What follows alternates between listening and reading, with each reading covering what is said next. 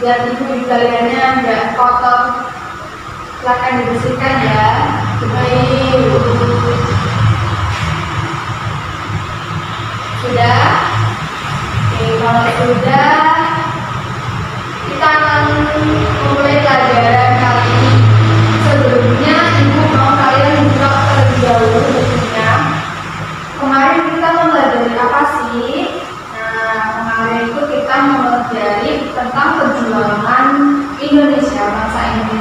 dalam menghadapi berbagai ancaman di sekedar bangsa.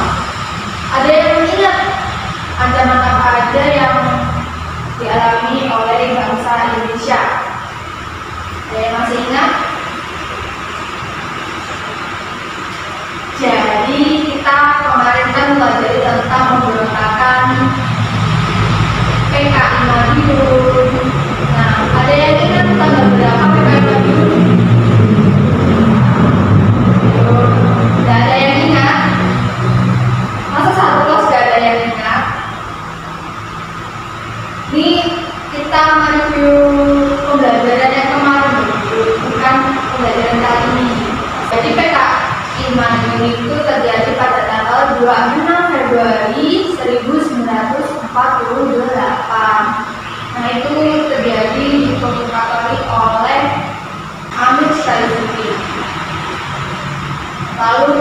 Mengenal tentang B20 PKI.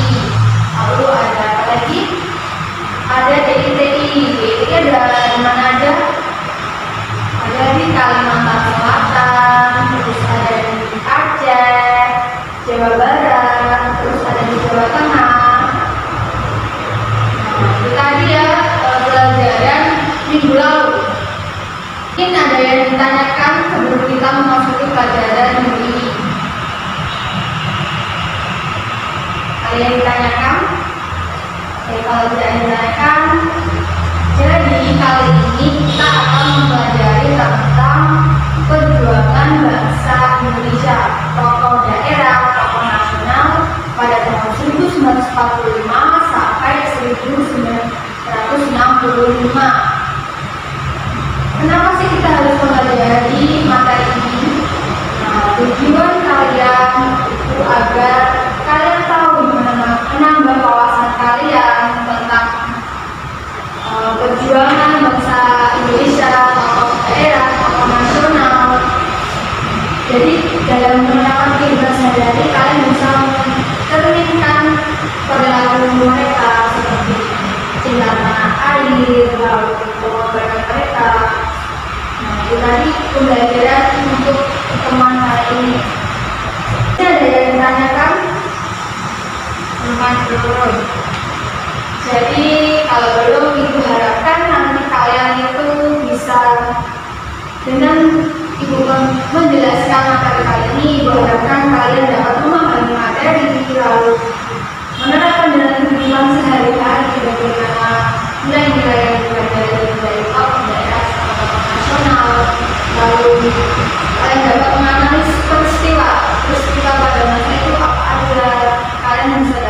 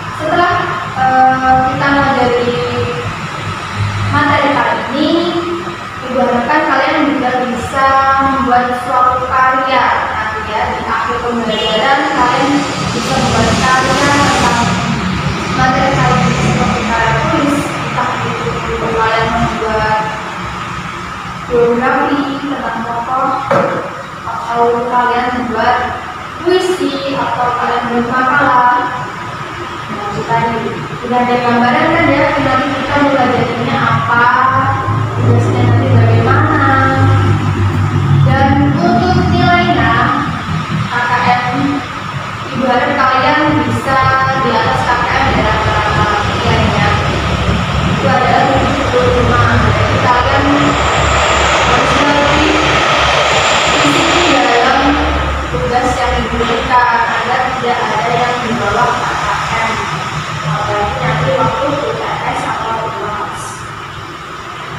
dan rata-rata nanti ibu akan kasih beberapa tugas kita lebih ke diskusi kelompok ya.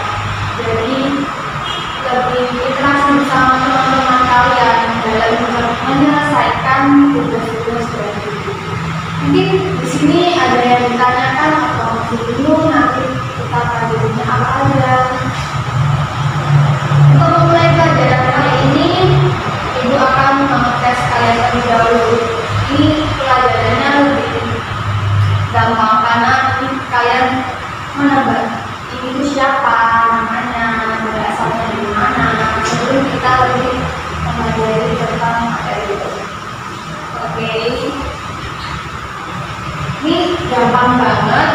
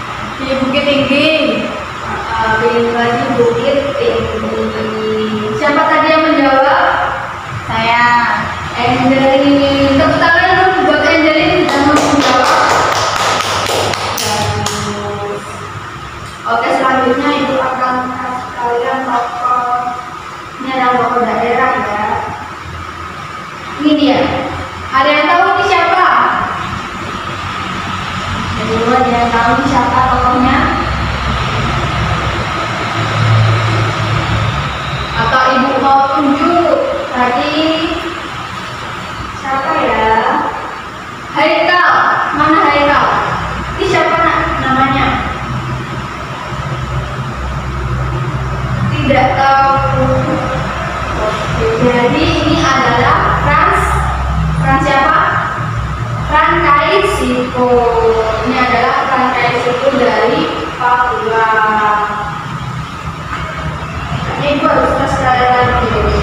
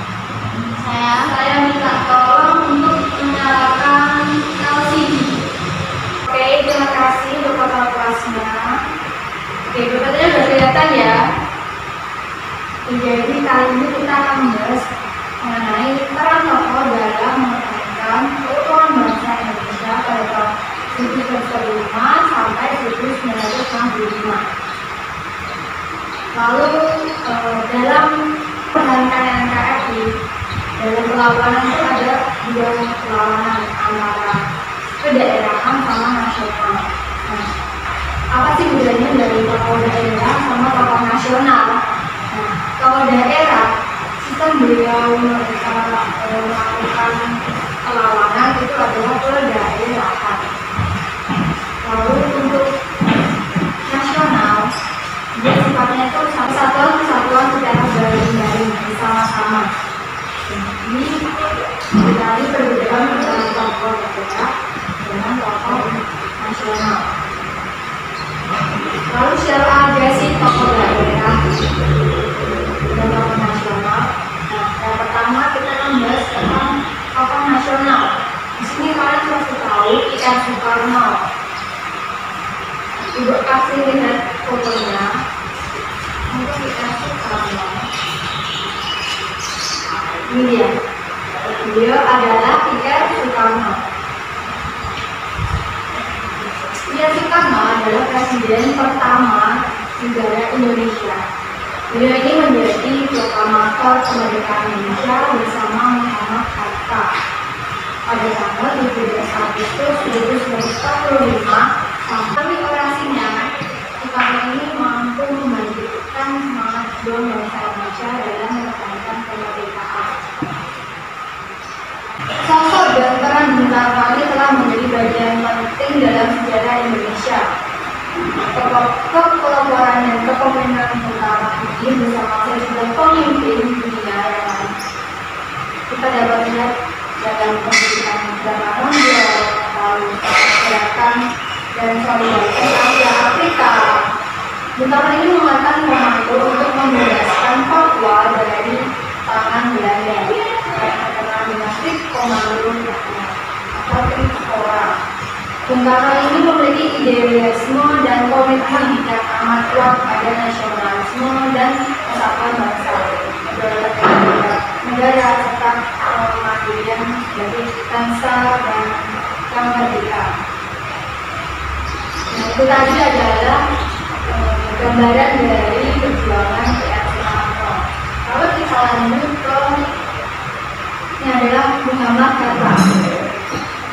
Muhammad Hatta ini bersama Ayah Soekarno yang tadi dijelaskan bersama-sama memproklamatkan kemerdekaan Indonesia.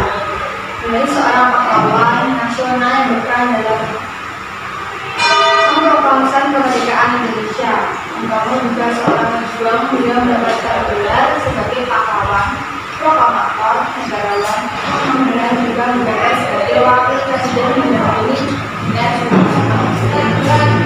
Beliau bersama dengan berperan penting dalam Republik Indonesia. Dari penjajahan hingga. Kemudian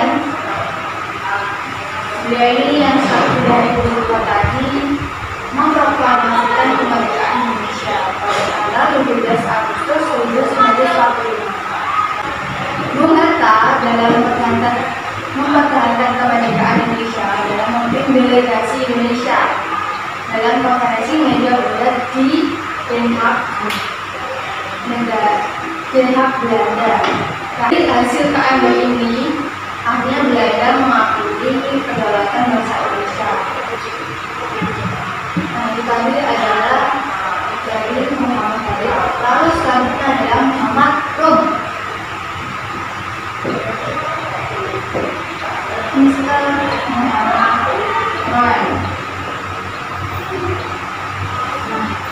Beliau ini siapa sih? Beliau adalah dan salah satu pemimpin Indonesia di perang kemerdekaan Indonesia.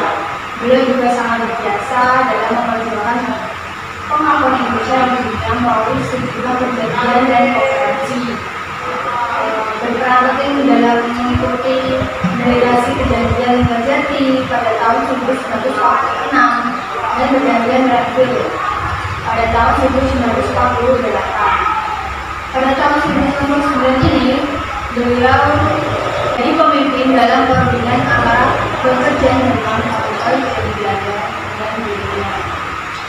Nah, tadi beberapa tokoh-tokoh nasional. Sebenarnya tokoh nasional itu banyak ya. Sudah selanjutnya kita akan mengajari tentang tokoh daerah.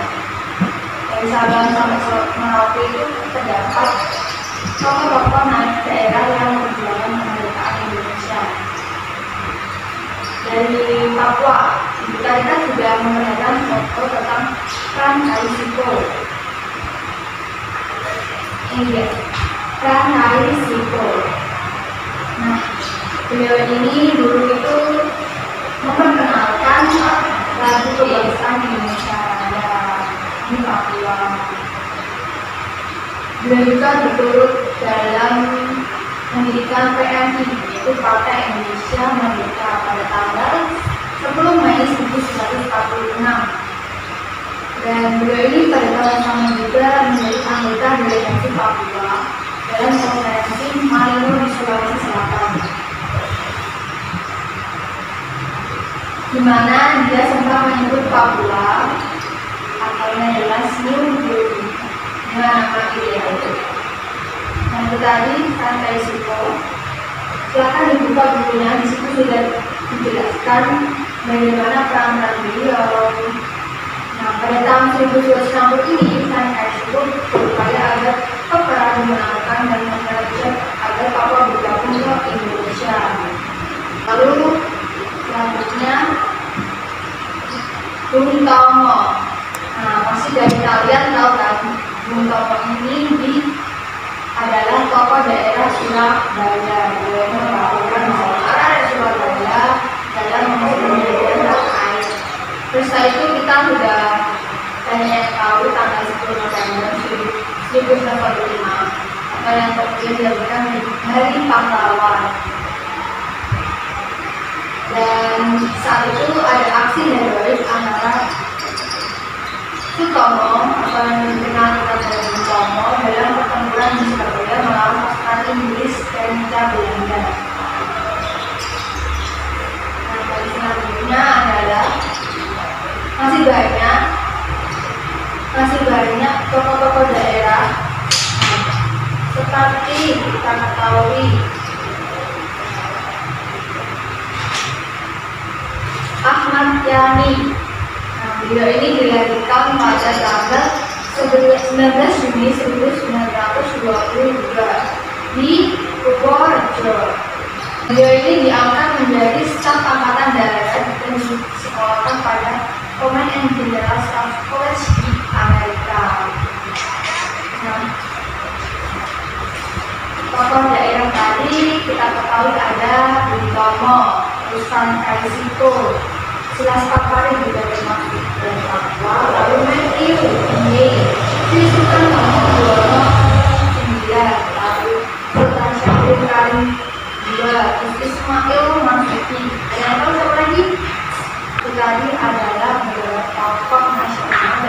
daerah.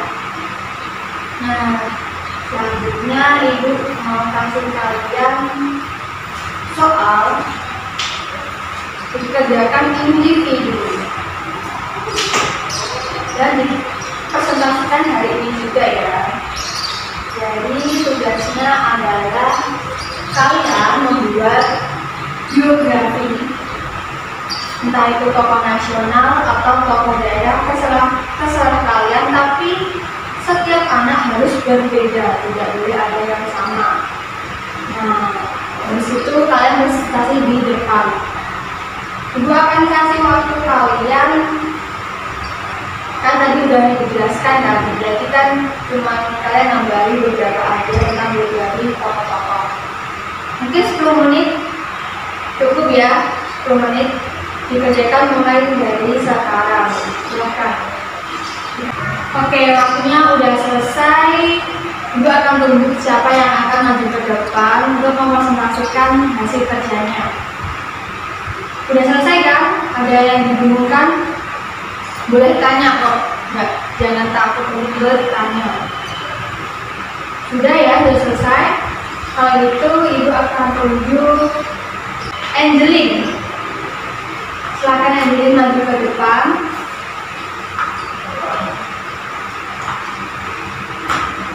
Oke, Angelin silahkan bapaknya. Sekali lain biar dulu ya. Saya akan menjelaskan eh, tentang pahlawan Bung Tomo. Eh, nama Sutomo, nama panggilan Bung Tomo, tanggal lahir 3 Oktober 1920. Tempat tanggal lahirnya di Surabaya, Jawa Timur. Meninggalnya di Padang Arafah, Arab Saudi. Untuk pendidikan dari Tomo yaitu Mulo dan HBS. Eh, Dan Bung Tomo ini mendapatkan gelar pahlawan yaitu pahlawan nasional sejak 2 November 2008 untuk organisasi dan karirnya yaitu KPI atau Kepanduan Bangsa Indonesia dan beberapa karya baru untuk karirnya yaitu Menteri Negara Urusan Bekas Pejuang Bersenjata atau Veteran sekaligus Menteri Sosial Adindaram pada tahun 1955 sampai 1956 dan juga anggota DPR pada tahun 1956 sampai 1959 yang mewakili Partai Rakyat Indonesia. Sutomo dilahirkan di kampung Bauran di pusat kota Surabaya. Ayahnya bernama Kartawan Sutowijoyo, seorang kepala keluarga dari kelas menengah. Beliau pernah bekerja sebagai pegawai pemerintahan, staf pribadi di sebuah perusahaan swasta, dan sebagai asisten di kantor pajak Indonesia. Sudah, sudah selesai? Oke, silakan. Tepuk tangan buat Angelin. Ya, keberanian kalian buat maju memprestasikan itu patut diacungi dengan jempol bubar. Terima kasih Angelin sudah mempresentasikan kerjaannya. Nah, sedikit tadi Ibu eh, ambil pertanyaan dari kamu presentasi. Tadi kan kamu menjelaskan kalau Bung Tomo ini meninggalnya di Arab Saudi. Ibu mau bertanya, kenapa kok Bung Tomo ini meninggalnya di Arab Saudi? Evelyn bisa menjawab? Kalau bisa nanti ibu kasih ibu-ibu tadi bawa jajan di kantin ibu akan kasih kalian jajan tenggo bukan Evelyn saja ya yang lain boleh menjawab. Ada yang mau menjawab? Selain Evelyn tidak apa ini ada jajan lumayan buat teman kalian istirahat. Gimana Evelyn Ya, Bu tahu. ya apa nak? Eh, karena pada saat itu beliau melakukan ibadah haji, tetapi pada saat itu kesehatan beliau menurun dan tidak bisa tertolong lagi. Oke, jawabannya benar. Buat Evelyn, ini ya, ibu kasih kamu jajan. Ya, terima kasih Bu. Iya, sama-sama. Nah, itu tadi beberapa presentasi dari teman-teman kalian. Oke, tadi kan udah teman kalian sudah mempresentasikan dari apa aja biografi dari tokoh daerah dan tokoh nasional. Nah, materi selanjutnya kita akan mempelajari tentang nilai-nilai apa aja yang dapat kita ambil dari mempelajari perjuangan tokoh daerah dan tokoh nasional. Nah, cinta tanah air. Cinta tanah air. Apa aja sih cinta tanah air dalam kehidupan kita sebagai pelajar? Ada yang tahu? Yang tahu bisa angkat tangannya. Oke, jadi contoh tanah air implementasi yaitu kita sebagai pelajar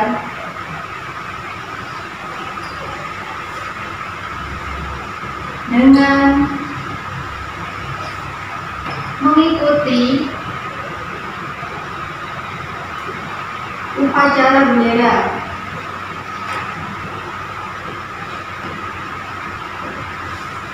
Contoh hal kecil ini saja ini juga termasuk sudah cinta tanah air. Bagaimana kita eh, berdiri dengan hikmat dalam mengikuti upacara, lalu saat kita ada lalu saat bendera dinaikkan kita hormat. Itu juga termasuk dari cinta tanah air. Lalu yang ke Nah, lalu rela berkorban.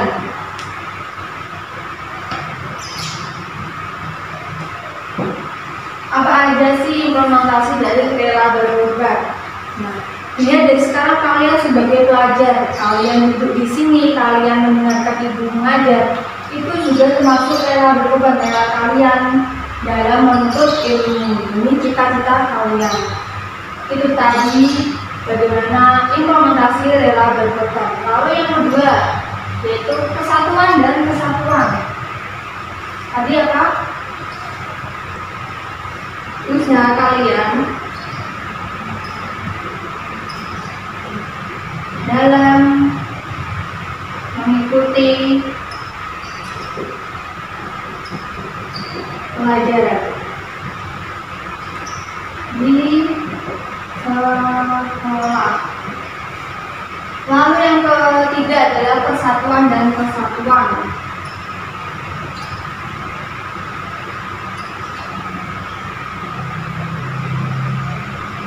apa sih implementasi dari persatuan dan kesatuan? Nah, di sini kan kalian ada berbeda-beda teman, ya kan? Dari satu teman kalian yang beragama Islam, satu teman kalian yang beragama Kristen, kalian ini saling bersatu, dan saling bersatu di IPS 3. Nah, tugas sebagai kelas juga yaitu mengawasi teman-temannya agar tidak ada yang berantem, tidak ada yang cekcok antar sesama teman. Itu tadi juga termasuk persatuan dan kesatuan. Contoh hal kecil dari implementasi kesatuan.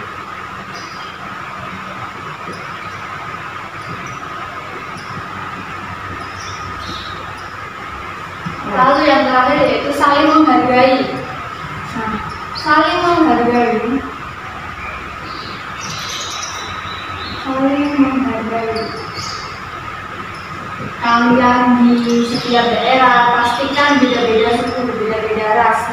Di situ kalian saling menghargai. Lalu saat teman kalian sedang sholat, kalian menghargai tidak berisik. Itu juga termasuk saling menghargai.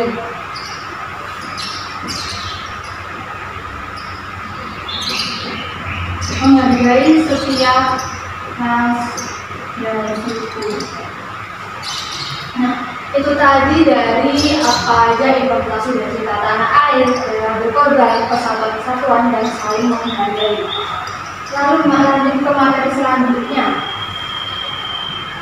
Nah, ini juga termasuk contoh tadi bagaimana implementasi dari perjuangan tokoh nasional dan tokoh daerah. Oke, itu tadi adalah materi mengenai perjuangan tokoh daerah dan tokoh nasional pada tahun 1945 sampai 1965. Lalu, Ibu akan membagi kelompok setiap kelas. Kelompoknya deret 1, deret 2, deret 3, deret 4. Jadi ini adalah kelompok 1, kelompok 2, kelompok 3, kelompok 4. Nah, tugasnya apa sih, Bu? Nah, tugasnya nanti Ibu akan menayangkan sebuah video. Dari kelompok kalian nanti, kalian menganalisis video tersebut. Apa yang dianalisis? Yang dianalisis adalah apa yang terjadi dari video tersebut, kronologinya bagaimana, terus itu tempatnya di mana, tokohnya siapa yang berperan. Nah, dari sini ada yang ditanyakan, untuk pengumpulannya hari ini juga. Jadi ini kan waktunya masih lama ya. Nanti videonya ditayangkan, kalian sambil mendengarkan, kalian analisis. Jadi nanti dibagi setiap anak, kamu lihat ini, kamu lihat ini, kamu yang nulis. Habis itu nanti kalian presentasi di depan. Salah satu saja. Kalian paparkan bagaimana jawaban dari kelompok kalian. Ada yang ditanyakan dari sini? Eh, saya Bu. Ya, Eh, untuk kesimpulannya berapa lembar? Oke, untuk pembuatan analisisnya terserah kalian. Satu lembar pun cukup satu lembar buku ya. Sudah ya, ibu akan tayangkan videonya.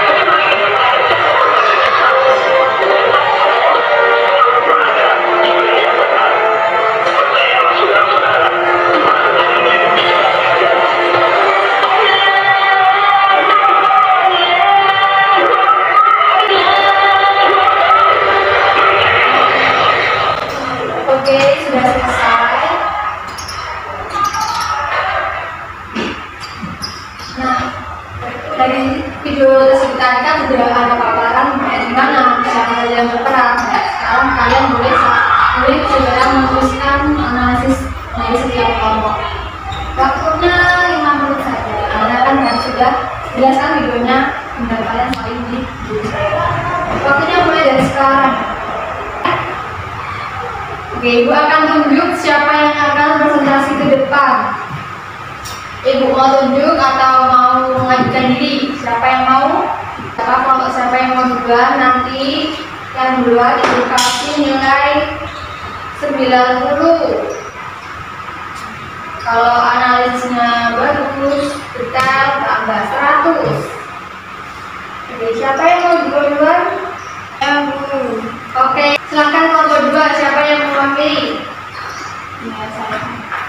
Silakan dipaparkan.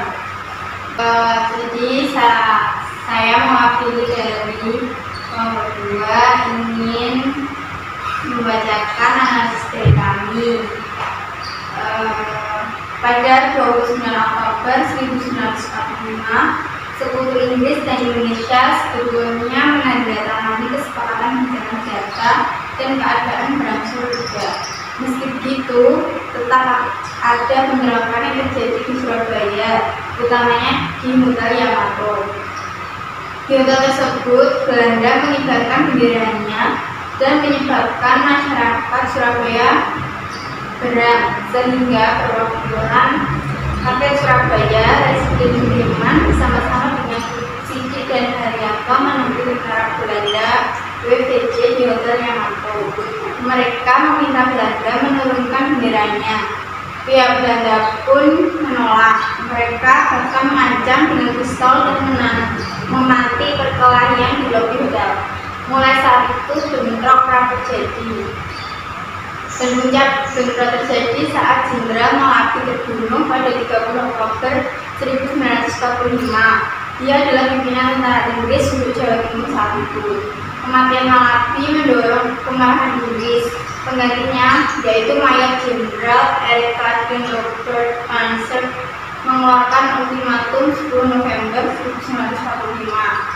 Ultimatum tersebut mengambil perintah agar semua pimpinan Indonesia dan para pemimpin Surabaya datang paling lambat 10 November 1945 pukul 6 pagi di lokasi yang telah ditetapkan. Rakyat Surabaya tak menggubris perintah itu. Jadi menembuslah pertempuran 10 November 1945 kurang lebih selama 3 hari. Oke, bagus sekali analisisnya tepuk tangan buat kelompok dua. Oke, siapa tadi? Kalau nama kelompoknya siapa saja? Angelin, Haikal, angkat tangan ya yang kelompok dua. Kalita, terus Yunita. Oke, kalian dapat nilai bagus karena analisisnya bagus tadi. Oke, jadi pertemuan kali ini sudah selesai. Itu tadi bagaimana penjelasan dari Ibu tentang peran tokoh nasional, lalu tokoh daerah, nilainya apa saja, lalu kita sudah tugasnya tadi sudah selesai, ada dua tugas dalam sehari. Ya, apa kan ya, tetap semangat, harus semangat kalau pelajaran sejarah, jangan sampai ada yang ngantuk. Nah dari pelajaran kali ini mungkin ada yang ditanyakan atau masih belum paham bisa ditanyakan. Atau ada saran dari ibu, bu, nanti ngajarnya gini, gini, ada saran? Saya Bu, Ya, apa nak? Eh, sekali-sekali boleh Bu pembelajarannya untuk di luar kelas. Oke, pembelajaran di luar kelas ada yang mau? Semua mau kan ya? Dan nanti kalau ada materi yang cocok, nanti kita akan belajar di luar kelas. Agar kalian juga bisa fresh lihat lingkungan, tapi jangan di kantin ya. Kita nanti bisa di gazebo di tengah nanti kita saling berdiskusi bersama-sama di luar kelas. Ada lagi yang mau saran? atau ada masukan apa saja boleh. Kalau tidak ada, berhubung waktunya sudah habis mungkin itu saja pembelajaran kali ini nanti ketua kelasnya bisa dimatikan untuk LCD-nya oke untuk mengakhiri pembelajaran kali ini kita berdoa masing-masing. Semoga eh, pertemuan kali ini materi kali ini dapat bermanfaat bagi kalian semua. Berdoa mulai. Berdoa selesai. Oke kalian boleh istirahat yang mau makan. Ibu pamit undur diri. Wassalamualaikum warahmatullahi wabarakatuh. Waalaikumsalam warahmatullahi wabarakatuh.